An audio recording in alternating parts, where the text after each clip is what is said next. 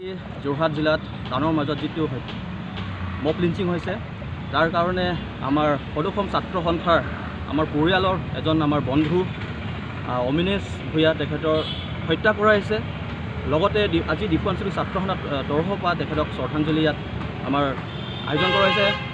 লগতে যোৱাকালি যোনটো কাণ্ডত হৈছে আৰু যিসকল জড়িত আছে আৰু বাৰে প্ৰতি আমি ক'ব বিচাৰিছোঁ যে অসম চৰকাৰক আৰু আমাৰ সচেতন ৰাইজকো যে আমাক মব লিঞ্চিং বা যি নহওক মৰেল পুলিচে হওক আমাক নালাগে।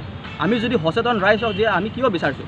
কিন্তু যোৱাকালি মাজমজিয়াত দিন দিন নিশা যেনে আমাৰ আচুৰ কৰ্মীক আক্ৰমণ কৰি পঞ্চাছজনকৈ অধিক মানুহ তাত জড়িত আছে বুলি আমি গম পাইছোঁ। কিন্তু আজি তাৰিখলৈকে পুলিচ প্ৰশাসনে হওক বা জিলা যোৰহাট জিলা প্ৰশাসনে হওক অকল তেৰজন মানুহ কাৰণে এৰেষ্ট কৰা হৈছে। গতিকে আমি আমাৰ দাবী স্পষ্ট কথা হ'ল যে যিকেইটা মানুহ তাত জড়িত আছে পঞ্চাছজনকৈ অধিক মানুহ আছে তেওঁলোকক অতি সোনকালে গ্ৰেপ্তাৰ কৰি আৰু তেওঁলোকক ফাষ্ট ট্ৰেকত ফাষ্ট ট্ৰেক কোৰ্টত আনি অতি সোনকালে তেওঁলোকক চাৰ্জশ্বীট দি শাস্তি প্ৰদান কৰে এইটো আমাৰ প্ৰথম দাবী। আৰু দ্বিতীয় দাবী হৈ গ'ল যে তেওঁলোকে কৈছে যে পোন্ধৰ দিন পিছত যে আমি চাৰ্জশ্বীট দিম। আমি মানি লৈছোঁ পোন্ধৰ দিন পিছত তেওঁলোকে চাৰ্জশ্বীট দিব।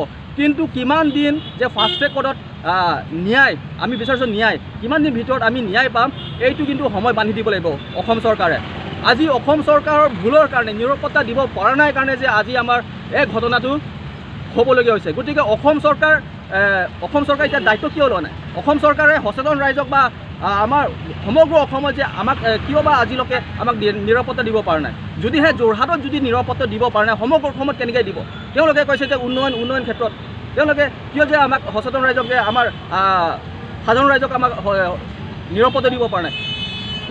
ইউ পি দিল্লী ৰাজস্থানত তেওঁলোকে যদি তেওঁলোকৰ একেটা তেওঁলোকৰ বিজেপি ৰুলিং কৰা চৰকাৰকে যদিহে গুৰু গুৰুৰ কাৰণে যদি ল' বনাব পাৰে তেন্তে সিহঁতে মব লিঞ্চিং কাৰণে অসম চৰকাৰে আজি কঠোৰ আইন কিয় বনাব পৰা প্ৰথম প্ৰ- প্ৰ- প্ৰথম প্ৰশ্ন অসম চৰকাৰ গতিকে অসম চৰকাৰে অকল তেওঁলোকে প্ৰতিশ্ৰুতি দিলে নহ'ব আমাক ফলাফল লাগে গতিকে এই ফলাফলটো তেওঁলোকে সময় বান্ধি দিয়া হৈছে এই সময় বন্ধা বান্ধা লগে লগে যে ফাষ্ট ৰেকৰ্ডত কিমান সময় ল'ব এই সময়টো আমাক লাগিব। গতিকে যেতিয়ালৈকে এই সময় আমাক বান্ধি নিদিয়ে কিন্তু আমি শান্ত নহয়